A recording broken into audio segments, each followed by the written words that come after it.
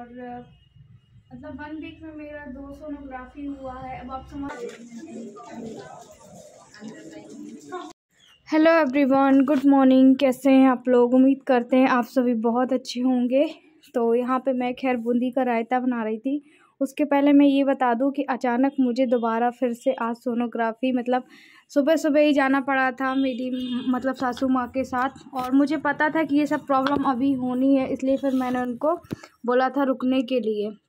एक बार मेरा सोनोग्राफ़ी हो गया था अल्ट्रासाउंड जो था, पर थोड़ा सा गड़बड़ आया था। अब वो क्यों आया था वो मुझे भी नहीं पता तो दोबारा उन्होंने करने को बोला था। तो अभी उस हिसाब से मुझे थोड़ा सा पता नहीं, समझ में नहीं आ रहा है, अब देखेंगे क्या होगा। यहाँ पे मैं खैर बूंदी का रायता बना रही थी इस तरीके का। मतलब बूंदी का रायता को ना मैंने फूलने डाल दिया था, ये दही था और मुझे चटपटा, खट्टा खाने का बहुत मन करता है। तो मैं इसमें सूखी मिर्ची डाली थी मैंने और जो लहसुन और अदरक, ये भी सब कुचर के डाला हुआ था इसमें। तो इस तरीके से आप रायता बनाएँगे तो बहुत टेस्टी बनेगा। ये देखिए राय, वो लहसुन और अदरक को ना मैंने हल्का सा बघार लगा लिया था, राई का तड़का डाल के और इस पर ही हम डाल देंगे, ये देखिए। तो इससे स्वाद और चार गुना बढ़ जाते हैं। तो मुझसे इनमें रोटियाँ बहुत अच्छे से खप जाती है, अगर मुझे कुछ खट्टा तीखा मिल जाता है तो। ये मैंने बनाया हुआ था रायता। तो इससे क्या है, बूंदी हम अगर ऐसे ही डालते हैं ना तो पूरा जो हमारा दही रहता है, उसमें सूख जाता है। अगर आप पहले से पानी डाल के रखते हैं बूंदी में तो अच्छा खासा रायता बन के तैयार हो जाता है। और ये ना मेरी सासू माँ को भी बहुत अच्छा लगा था। बाद में मैंने अच्छा इस पर थोड़ा सा नमक डाला था। नमक आपको तब डालना है, जब आप बिल्कुल खाने के लिए बैठ ही रहे हो। अगर पहले से आप डाल देंगे तो फिर वो पानी छोड़ देता है। फिर यहाँ पे देखिए मॉर्निंग का समय था तो मॉर्निंग मैंने कहा एक अच्छा सा पहले ऑयल लेती हूँ क्योंकि उसके बाद रिलैक्सफुल हो के आराम से फिर जाऊँगी। यही सब कर रही थी अल्ट्रासाउंड की रिपोर्ट डेट भी मुझे दे दी थी उन्होंने पर मुझे लगा कि मैं नहीं करवाऊँगी नहीं करवाऊँगी पर उसके बाद सासू माँ ने बोला कि नहीं करवा लेना क्योंकि आ, देखो लापरवाही नहीं लेना है तुम्हारी एक ही किडनी है वैसे भी एक किडनी नहीं है तो इसीलिए छोटी छोटी जो भी बात डॉक्टर कहे उनकी बात माननी है, इस तरीके से उन्होंने समझाया। मुझे हालाँकि हल्का टेंशन भी हो रहा था कि पता नहीं क्यों ऐसा हो रहा तो भगवत, भगवान से यही है कि भगवान अब जो नेक्स्ट मेरा अल्ट्रासाउंड होगा, वो ठीक आए। तो सुबह सुबह हम यहीं पे जाने वाले थे तो मम्मी बाहर मतलब कि बैठी हुई थी और मैंने कहा, जब तक मैं बिस्तर वगैरह साफ़ कर देती हूँ, वैसे उन्हीं ने झाड़ू वगैरह लगा दिए थे, आधा काम उन्हीं ने कर दिया था। देव को मैंने अच्छा स्कूल भेज दिया था। उसको मैं सोच रही हूँ कि स्कूल जितना वो चला जाए तो चला ही जाए। अगर वो घर में रहता है तो वैसे भी उधम करता है। वैसे मेरा मेडिकल जाने का बिल्कुल भी मन नहीं था, क्योंकि मुझे बस डर लग रहा था और इस डर से ना मैं पीछे भाग रही थी कि नहीं, मुझे नहीं कराना नहीं कराना। फिर मम्मी ने मुझे बहुत समझाया, उसके बाद फिर मैं फाइनली गई थी देखिए उन्हीं के साथ गई हुई थी और यहाँ पे बस लाइन लगा लिए थे, क्योंकि पता है कि गवर्नमेंट वाले काम ऐसे ही होते हैं। आपको घंटों लाइनों में खड़ा रहना होता है, तब जाके आपका नंबर आता है। तो वही चीज़ है, मेरा सोनोग्राफी था और कुछ खा पी के गई नहीं थी। पानी बस आपको खूब पीना था। तो यहाँ पे बस मैं यही जमा कर रही थी। तो तुरंत में मैडम ने लिखा था ना सोनोग्राफी के लिए तो फिर मुझे जल्दी हालाँकि ज़्यादा लाइन में नहीं खड़ा रहना पड़ा, पर फिर भी थोड़ा बहुत तो खड़ा रहना पड़ेगा ही ना। तो यहाँ पे मैं फटाफट पानी पी रही थी क्योंकि ऐसा होता है यहाँ पे कि डॉक्टर ने बोला था, आप अच्छा पानी पी के जाना और क्योंकि जो हम नेक्स्ट जो दूसरी सोनोग्राफी लिख रहे हैं, उसका सब क्लियर पता चल जाएगा। तो ये देखिए कितने घंटों हम इतनी लाइन बहुत देर में मेरी लाइन लगी थी और घबराहट इतनी हो रही थी कि मेरी पर्ची तक गिर गई थी, ये देखिए। ये और इतनी लंबी लाइन लगी थी। मम्मी बोल रही थी, तुम रहने दो, मैं खड़ी हो जाती हूँ। मैंने कहा, रहने दो, आप मत परेशान हो, आप वहाँ किनारे खड़े हो जाओ और मैं अपना करवा लूँगी। जब इतना बड़ा किया है यार तो फिर ये इसमें क्या प्रॉब्लम? है ना? इस वजह से। पर थोड़ी सी हिम्मत मुझे मम्मी के आ जाने से थोड़ी क्या बहुत हिम्मत मिली। यहाँ मुझे खड़े होने में भी प्रॉब्लम जा रही थी। हालाँकि ऐसी कोई प्रॉब्लम नहीं है, पर वही है ना कि मैडम ने लिखा है सोनोग्राफी तो कुछ सोच समझ के ही दोबारा से लिखा होगा। और उनको भी एक्चुअली समझ में नहीं आ रहा था, क्योंकि पता नहीं क्यों नहीं आ रहा था, मुझे नहीं पता। तो वही नेक्स्ट राउंड के लिए बोला था।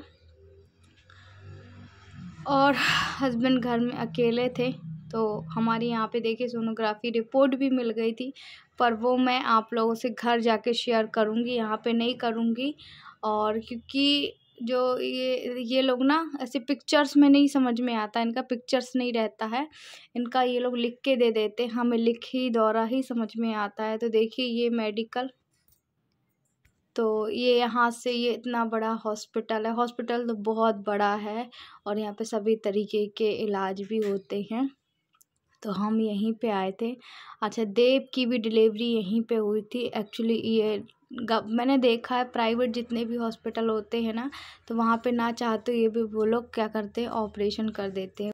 जो दूसरी बार सोनोग्राफी हुई है, वो ये है और मेरे के पानी में देखे गई थी। क्योंकि तो आपको बाद में बताऊँगी क्यों मेरी अचानक सोनोग्राफी हुई। आते साथ पानी गर्म करने रख दिया। क्योंकि सुबह लाइट चालू हाँ। नहाऊँगी सीधे अभी। हम्म, बहुत ठंडा हवा चल रही थी अंदर आ गई हूँ। अभी मम्मी भी नहा रही हैं इस वजह से। तो यहाँ पे मैं बता दूँ आप लोग कि प्लेशेंटा के बारे में भी कुछ बताया है और भी कुछ बताया है। तो अच्छा पहले मैं नहा धो लूँ फिर उसके बाद इतने यहाँ से बात करूँगी आपसे। ना अभी नहा के सीधे मैं आपसे अभी मिल रही हूँ, यहीं बैठ के खाना खाया। मम्मी ने मुझे खाना दिया। और रायता और खिचड़ी। मुझे बहुत थोड़ी सी खाई है। पता नहीं मुझे मतलब खाना ही नहीं खप रहा था, फिर मैंने नहीं खाया। और सुबह नाश्ता करके गई थी, हो सकता है वहाँ से आने के बाद और हवा चल रही है तेज़। तो शायद कह दें ना कहीं जाओ और फिर हो जाए तो फिर थकावट लगती, महसूस होती। तो मुझे नहीं पता कि अभी क्या मेरे साथ हो रहा, क्या नहीं हो रहा, पर यह है कि मुझे बहुत थकावट लग रही है और मेरा फेस भी ना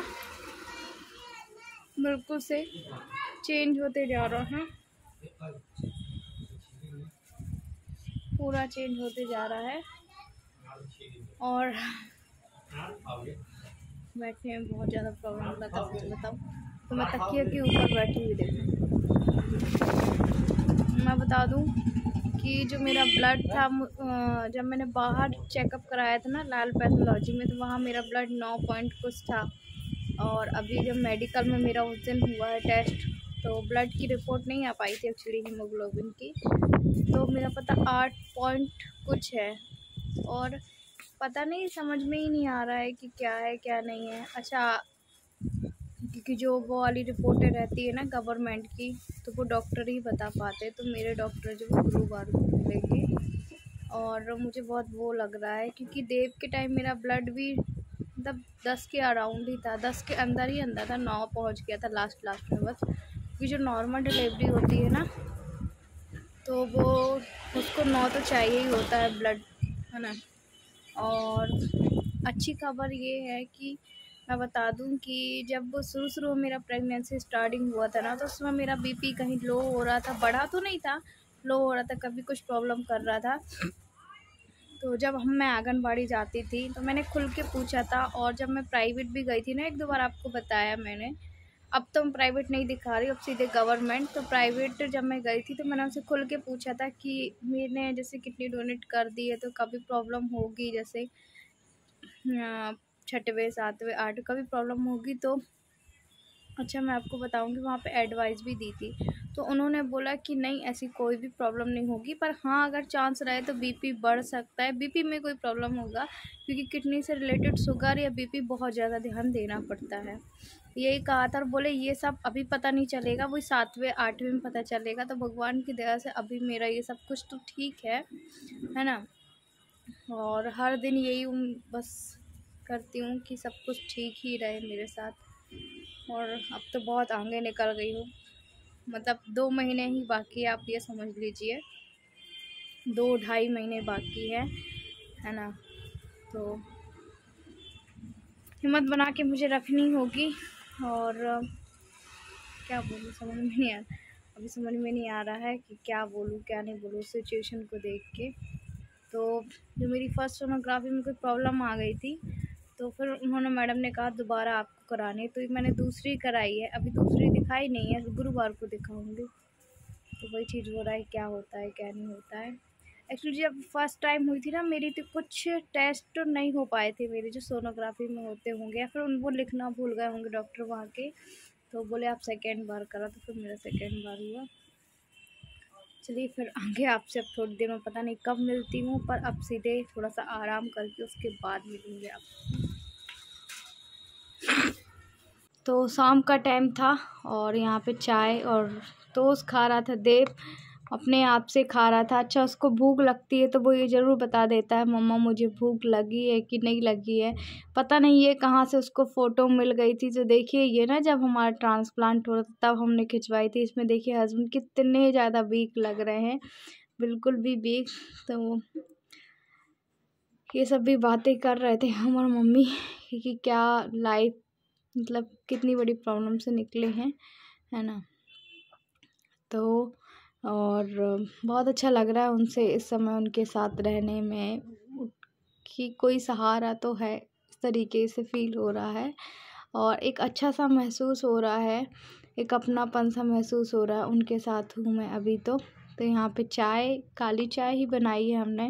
एक्चुअली हम दूध वाली इसलिए नहीं पीते क्योंकि फिर गैस वगैरह बनती है। इस वजह से मैं नहीं पीती हूँ और मम्मी भी चाय नहीं पीती हैं दूध वाली तो हमने यहाँ पे काली ही बनाई थी और देव भी काली चाय और टोस्ट खा रहा था। तो यही है और आप लोग भी बोलते, आरती, आपने अल्ट्रासाउंड कराया तो आपने उसकी रिपोर्ट शेयर क्यों नहीं की? तो इसलिए नहीं की थी मैंने, क्योंकि मुझे उसमें समझ में नहीं आया तो डॉक्टर ने खुद मुझे डरा दिया था। और मैं आप सबसे नहीं बताती, पर मैंने कहा कि चलो अब दूसरा जब मेरा अल्ट्रासाउंड हो गया है तो फिर मैं आप लोगों से ज़िक्र करती हूँ। शायद आप लोग वैसे तो मैडम ही अच्छा बताएँगी तो वो कल गुरुवार को बताएँगी। और यहाँ पे देखिए, अभी मुझे ना, अगर मैं बैठ जाती हूँ एक बार ना तो मुझसे खड़े होते बिल्कुल भी नहीं बनता है। और पालथी मार के तो बिल्कुल भी बैठ के नहीं बनता है। तो आप इग्नोर करिएगा थोड़ा सा मैं इस तरीके से बैठी हुई हूँ। एक्चुअली मैं सब्ज़ी काट काट के दे रही थी तो मम्मी वहाँ पे बना दे रही थी। और थोड़ा बैठो, बस झुको तो कमर में पेन थोड़ा बैठो तो फिर सीने में पेन ऐसा हो रहा है अभी। और ये कोई मेरे साथ नहीं होता है, अब आप सोचेंगे आरती के साथ बस हो रहा है। सारी प्रेग्नेंट लेडियों के साथ इस टाइम होता है मुझसे ना, मैं इस तरीके से ही उठती हूँ क्योंकि मुझसे एकदम से खड़े होते नहीं आता है। तो चलिए मैं सोनोग्राफी शेयर करती तो मेरा सोनोग्राफी रिपोर्ट आ गया है और मतलब वन वीक में मेरा दो सोनोग्राफी हुआ है। अब आप समझ सकते हैं कि सोनोग्राफी एक बार में ही पता चल जाती है और ये मेरी थर्ड सोनोग्राफी थी।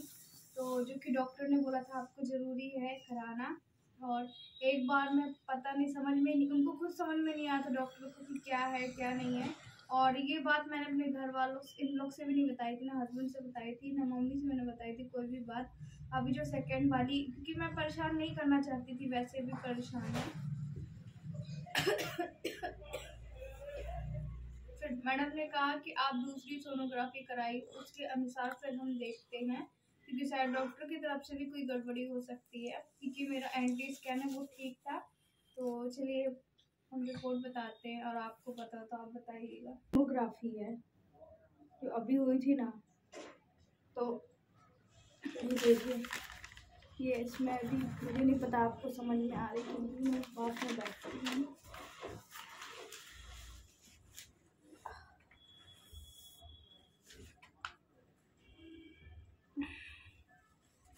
देखिए।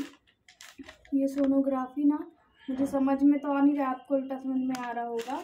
पर इस जो पहली सोनोग्राफी थी, उसमें थोड़ी सी प्रॉब्लम बताई थी। अभी ये दोबारा कराई है तो मुझे समझ में तो आ नहीं रहा है क्या कैसा है।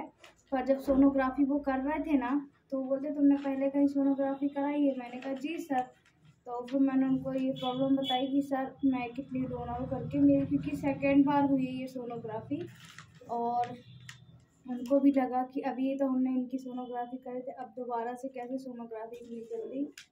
तो उस वजह से तो इनकी भाषा समझ में नहीं आती क्योंकि ये जब मेडिकल की सोनोग्राफी होती है ना तो ये लोग लिख के देते हैं और ऐसे उनका वो नहीं मिलता है। और यहाँ पे ब्लड गायलोजिस्ट हीमोग्लोबिन क्या होता है? अच्छा आप बताइएगा। मुझे नहीं पता, ये देखो ये तो मेरा गायजोसिस्ट हीमोग्लोबिन है ना वो? सिक्स पॉइंट एट है है ना?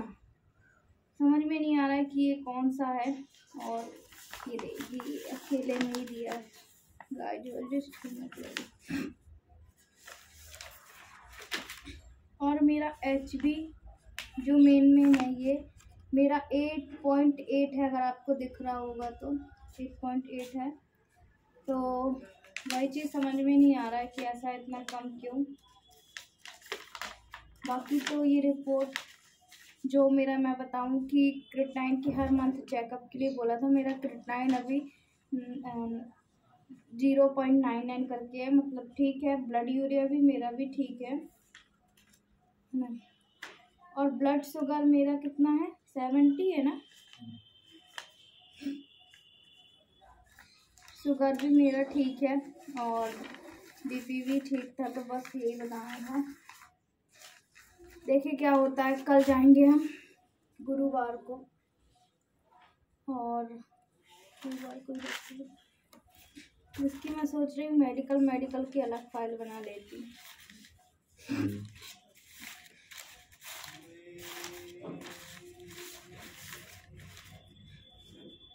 क्योंकि ऐसी सोनोग्राफी वो नहीं देते डॉक्टर